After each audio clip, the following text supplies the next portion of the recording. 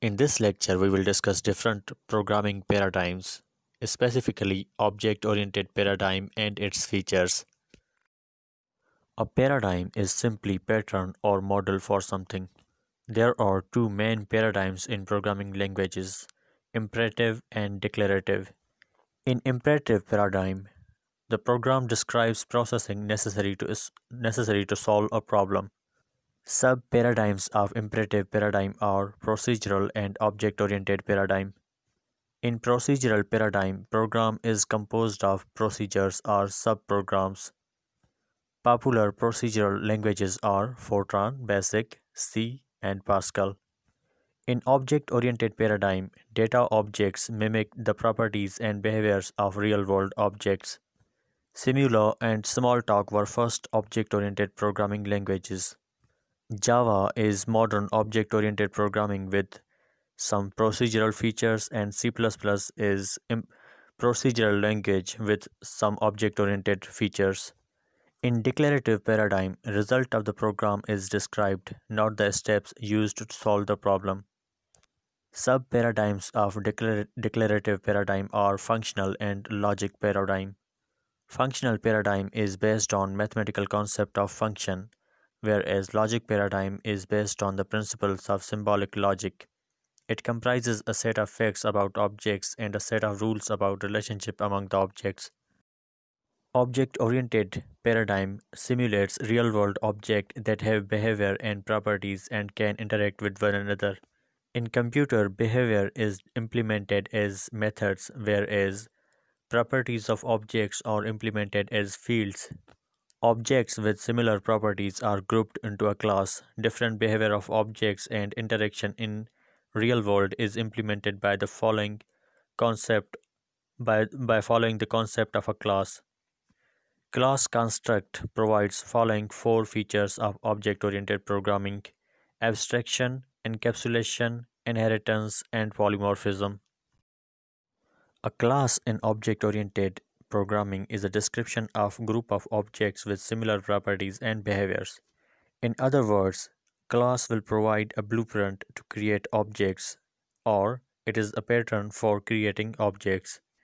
An object can be considered an entity or thing that is relevant in the context of a problem. Fields are named properties of a class and methods define one aspect of the behavior of the class. Examples of class can be animal, person, and student. Abstraction is hiding internal implementation details of a program or removing complex details to simplify the view. In Java, abstraction can be achieved with abstract classes and interfaces. Complexities of program can also be removed with information hiding or encapsulation. Goal of abstraction is to facilitate communication among users and machine. Encapsulation is bundling of data and actions of objects so that logical properties of data and actions are separated from the implementation details. In other words, it is the object-oriented feature that provides information hiding. Purpose of encapsulation is to make data safe from any external modification. In Java, encapsulation is achieved by declaring variables as private and to safely access and change values of the variables, setter and getter, setter and getter methods are used. In the code to the right, class employee has a private variable name whenever an object of this class is created. We have get and set name methods to get the name and set the name of the employee. Encapsulation plays crucial role to hide sensitive details of a program by controlling and making fields and methods read-only. Inheritance is mechanism by which one class acquires the properties, data fields and methods of another class. Child or derived class acquires the properties of parent or superclass relationship between child and parent class is and is a relationship. For example, horse is a mammal. Here mammal is an is a superclass. Horse is a derived class. The biggest advantage of inheritance is the reuse of code. which is also achieved with polymorphism discussed next. Polymorphism in programming language is the ability of a language to determine at runtime which of several possible methods will be executed for a given invocation or call. Like in real world, one word can have different meaning in different contexts. Polymorphism works the same way. For example, word right mean direction opposite to left and it can also mean correct.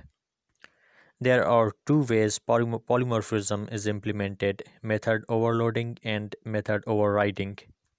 In method overloading, methods have same name but different parameters and they are differentiated from one another when program is compiled. Method overriding happens at runtime.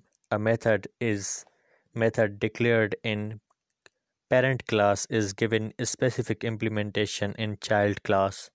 For example, speak method in animal class will have different implementation in child class because different animals make different sounds. If you like this video, give it a thumbs up and subscribe to watch more and learn more.